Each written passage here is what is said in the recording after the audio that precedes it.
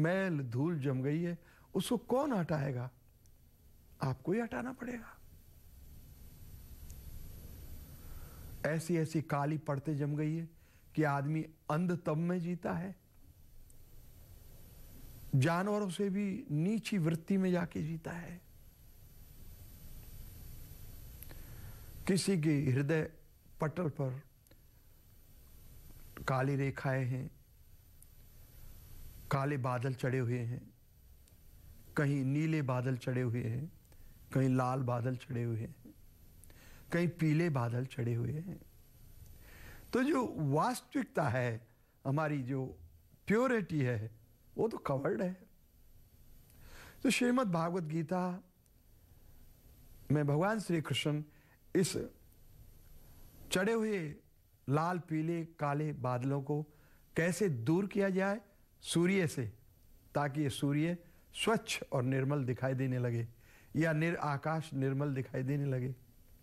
आपकी भावना, मूल भावना, जो बड़ी पवित्र है, वो कैसे पुनः उस दशा को हम प्राप्त करें? जिस दशा को हमने बर्बाद कर दिया है।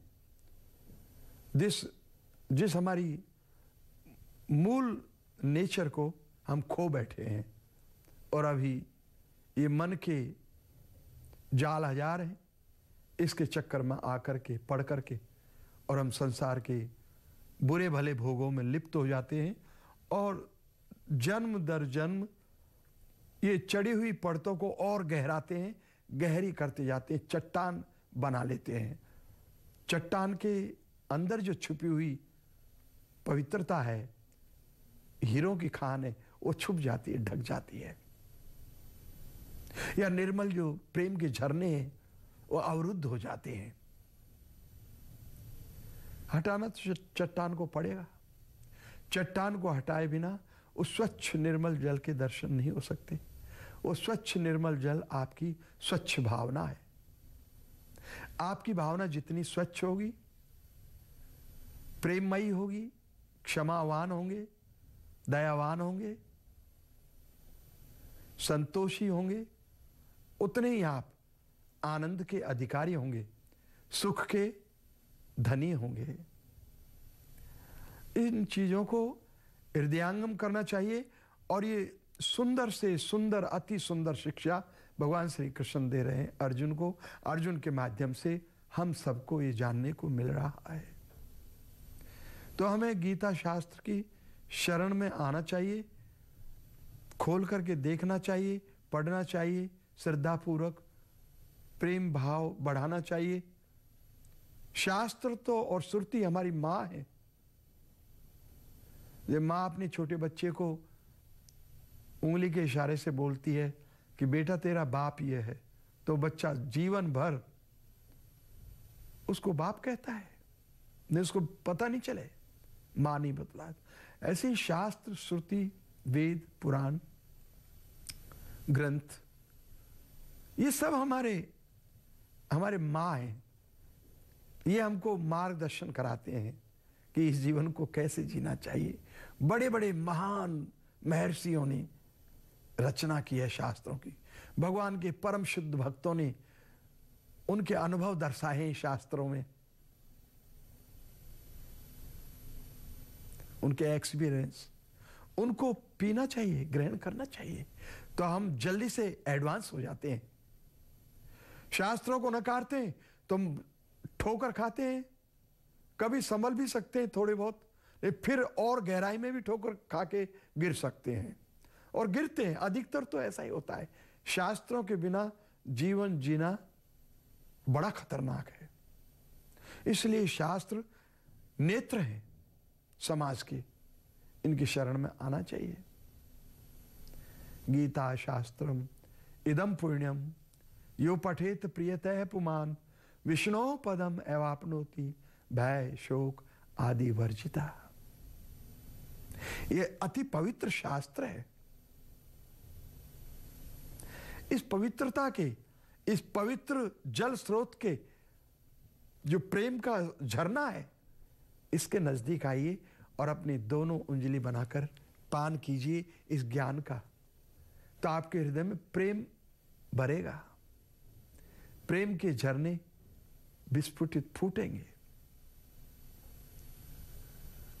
प्रेम कला एक ऐसी कला जिसके बिना नहीं किसी का भला। प्रेम जब आदमी भूल जाएगा, तब जाके अपने बच्चों को दूसरों से कैसे बचाव करें, यही सिखलाएगा जीवन भर यही सिखलाते हुए बड़ा करेगा कि नहीं बेटा, विश्वास नहीं करना।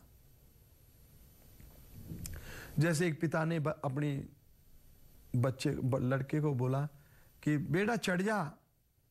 ये सीढ़ियाँ हैं नशेनी लगी हुई है, चढ़ जा इस पर।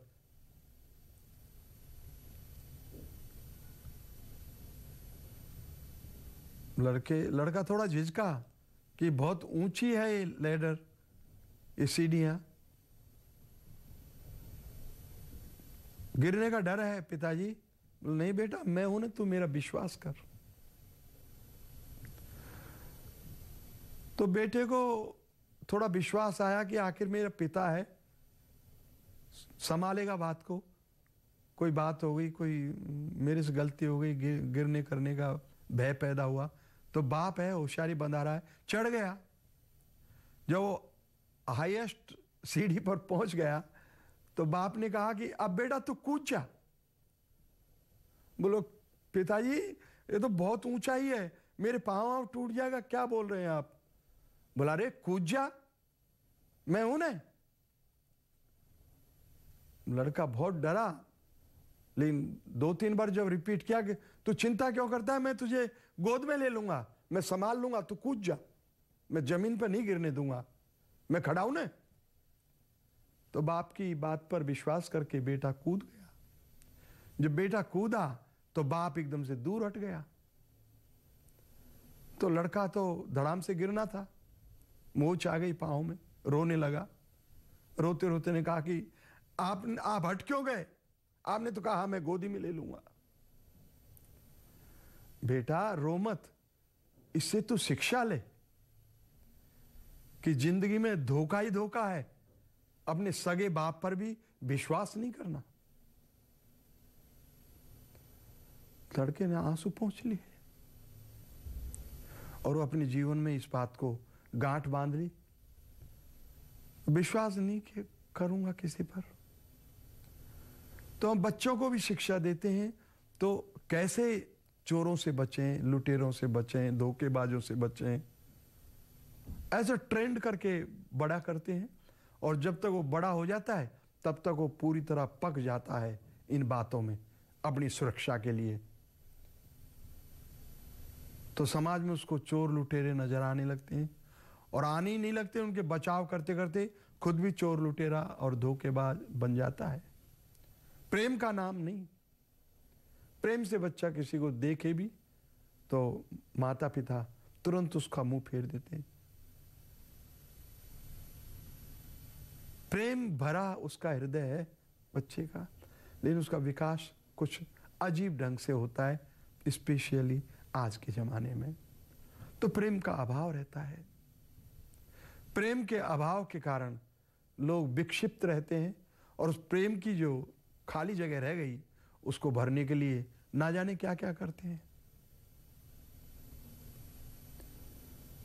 जेवरों से लते हैं या धन से धन से इकट्ठा उस स्थान को भरते हैं, या मान प्रतिष्ठा से, या हाई एजुकेशन से। नहीं। प्रेम कला एक ऐसी कला जिसके बिना नहीं किसी का भला। प्रेम परमेश्वर का रूप है। कितने सुंदर शब्द कहे हैं जीसस ने लव इज़ गॉड